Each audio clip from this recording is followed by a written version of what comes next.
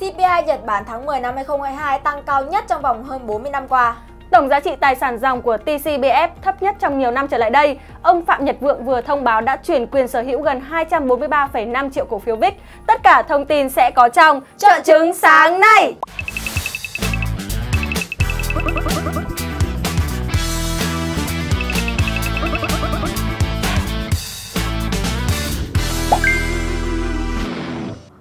Bộ Thông tin và Truyền thông Nhật Bản đã công bố báo cáo cho biết chỉ số giá tiêu dùng tổng hợp của nước này trong tháng 10 năm 2022 đã tăng 3,6% so với cùng kỳ năm 2021, mức tăng cao nhất trong vòng hơn 40 năm qua. Nguyên nhân chủ yếu khiến chỉ số CPI của Nhật Bản gia tăng là do giá nguyên liệu nhập khẩu tăng và xu hướng đồng yên yếu khiến giá cả các mặt hàng sinh hoạt liên tục tăng giá trong thời gian vừa qua. Theo dự báo của Trung tâm Nghiên cứu Kinh tế Tổng hợp Nhật Bản, chỉ số giá tiêu dùng của Nhật Bản sẽ tiếp tục vượt kỳ vọng 2% của Ngân hàng Trung ương Nhật Bản. Theo đó, có thể đạt mức 3,23% trong quý 4 năm 2022 và 2,55% trong quý 1 năm 2023. Tuy nhiên, mức lạm phát này vẫn thấp hơn nhiều so với Mỹ là 7,7% hay khu vực đồng tiền chung châu Âu là 10,6%. Về thông tin thị trường trong nước thì thị trường bước vào phiên giao dịch đầu tuần với diễn biến khởi sắc. Các nhóm thay nhau giữ nhịp cho thị trường chung, giúp VN Index tăng điểm trong phiên sáng. Tuy nhiên, với áp lực từ nhóm cổ phiếu ngân hàng khiến chỉ số không thể bứt lên, thậm chí còn quay đầu giảm điểm trong phiên chiều. Kết phiên, VN Index mất 8,68 điểm, tương đương với 0,9%, còn 960,65 điểm. Trong phiên hôm qua, dòng bất động sản và xây dựng giao dịch tích cực hơn sau những phiên giảm sàn liên tục, qua đó giúp thị trường giao dịch cân bằng hơn.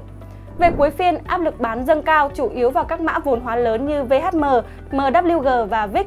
Thanh khoản thị trường sụt giảm đáng kể chỉ còn 8.784 tỷ. Về nhận định thị trường thì VN Index tiếp tục phản ứng với ngưỡng giá 970, tương đương với ngưỡng Fibonacci hồi quy 61,8% và khối lượng dưới ngưỡng trung bình 20 phiên chứng tỏ là các nhà đầu tư vẫn đang tỏ ra khá nghi ngờ về việc thị trường đảo chiều trong phiên giao dịch ngày 16 tháng 11. Do vậy thì chúng tôi khuyến nghị các nhà đầu tư nên hạ tỷ trọng tại các vùng cản 970 hoặc xa hơn là vùng 1070. Và về thông tin trong nước thì tổng giá trị tài sản dòng của TCBF còn 9.684 tỷ đồng, thấp nhất trong vòng nhiều năm trở lại đây và đã giảm gần 6.400 tỷ đồng so với cuối tháng 10.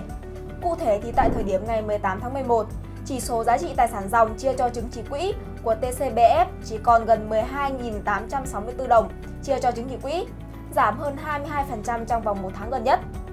Và cũng tại cuối ngày 18 tháng 11 thì quỹ trái phiếu TCBF đang đầu tư tới 97% tài sản tại các trái phiếu doanh nghiệp, chủ yếu là trái phiếu của Vinhome, Vincom Retail và Novaland và chỉ còn lại khoảng 3% tổng tài sản được dự trữ dưới dạng tiền mặt.